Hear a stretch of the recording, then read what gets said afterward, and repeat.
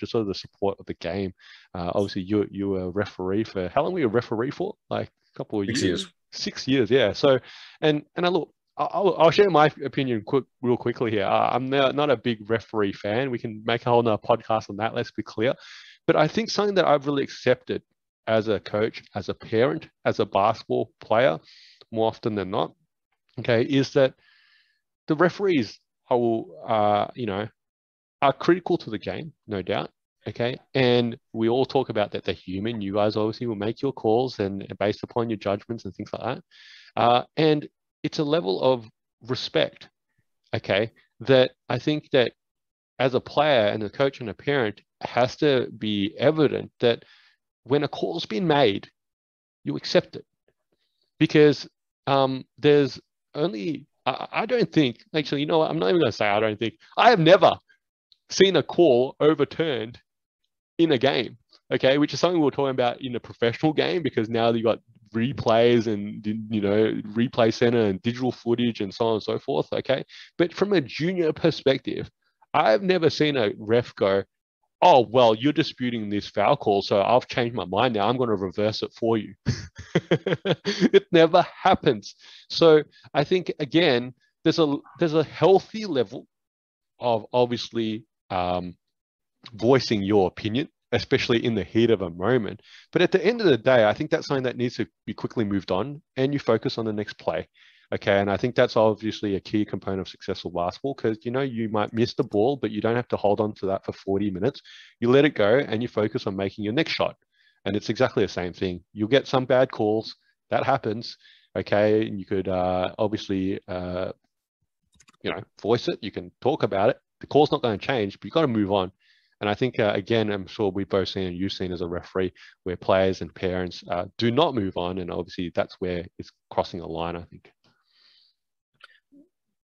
So, my insider goss on this one will be a good referee would be aiming to be correct about 60 to 70% because there's not 100, no way not 100. 100. How about no. 99? no, I mean, look, aspirationally, yeah, but realistically, no. We, there there are so many things that can happen, right? Especially I'm like here's a couple of extra things I'll talk about, especially someone who did a lot of domestic.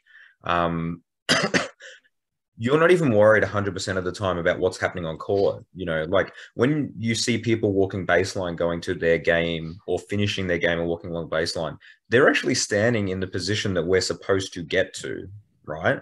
And we have to then periphery slash sometimes head check. Like, I don't want to crash into a child well, I'm trying to referee a game. I don't want to crash into someone. I don't want to hurt myself. Don't want to hurt them. So we don't have uninterrupted space. All right. That's the first and foremost. Two, you'd actually be surprised how many times parents, scorers, coaches just make little niggling comments that are naturally going to trigger a human reaction of, well, I want to respond to that. I want to answer that. And if you like, there's irony in this because, hey, you disagreed with my last call and you want to start an argument with me and you actually get my attention. Well, I'm about to miss another two or three calls because you've got my attention in this. Um, you said it. We don't change calls. We're actually told not to. We're taught not to. It is not to be stubborn. It is not to be like, you know, gung ho. It's actually because if we started changing calls, it just all chaos right? Because then it comes into, well, now we're just encouraging people to come make their case. Who's more convincing? Imagine all the games. Imagine how much game time would be lost if we did hear you. Like we said, all right, you come over here, you come over here. Let's have a chat. let's have a chat. Let's have a chat about this foul. yeah, yeah, and and you know, do the review process on every single thing. Um, the one thing that can occur, right, but it, it's never done for a good reason, you know, if I have five or six people yelling at me, which has happened in the past, um, all of a sudden it puts the pressure on me of I want to get control of this game, right? I'm not enjoying this for myself. I don't like where this is heading. Everyone's getting really chippy. That's when you get tech fouls. That's when you get extra calls made because you're trying to gain control of the game. We're taught to do that as well, right? Because ultimately referees are trying to control the game. The irony is a good game, the ref shouldn't blow the whistle at all right? If you're playing good, honorable defense and there's no accidental contact and there's no nothing else, it should just be out of bounds. It should be timeouts. It should be substitutions, really easy stuff. But it's never that. It's always some fouls in the game. And basketball is that hybrid of contact, non contact, right? We understand that it is designed to be no contact, but there's supposed to be contact. there are things that go into it, such as, well, I got bumped a little bit on my drive, but then I beat the defender. Does it warrant a defensive call? Well, yeah, technically, because there was a foul, but not for flow of game. I, I, could, I could go for a while on this topic. So it's. Look, I think the best I'm, thing that I've seen in junior basketball is giving the refs those green shirts. Uh, I think, uh, you know, when they're starting off, uh, and I think, uh, like we've alluded, coaches have to start somewhere, players have to obviously start somewhere, and refs have to start somewhere. And I think it's a sports is an imperfect game. That's the reality. It's uh, you know, the the players are going to make uh, you know, uh, uh, X amount of mistakes every game unless they don't miss a single shot or, or you know grab every single rebound they jump at. It's not realistic. Coaches are going to obviously make decisions that don't always work. And I think referees ultimately, you know, you guys make your calls and you're saying claiming 60% of the time, perhaps at best you're right. that's I think that's something that you know you have to accept. And uh, I think I think uh, it's a the irony probably is that if if everything was perfect, like you sort of said, well, I don't know. I don't even know how that would look. It's just not sports, right? That's the point. Well, you'd, you'd have people fouled out. I'll be honest with you. You'd probably have people fouled out every single game because there is contact every game, especially your bigs, right? Like quite often I'd ref guys that were six foot five or six foot six and they'd battle with someone else and they're two big guys and, and they'd probably end up both fouling out. um, you know, and it takes two fouls, especially in domestic with five fouls as your cap. You know, it takes two fouls, and then all of a sudden, well, I'm adjusting how I'm playing defense, and you've changed how I want to play. And you know, we're very conscious of all of this, and, and we want it to flow very nicely. But also, you know, th- this is the other cold hard fact. When I was refereeing basketball as an A grade referee, it was twelve dollars fifty a game. Okay, so if if you think that I'm on the take for making calls, where is the offer?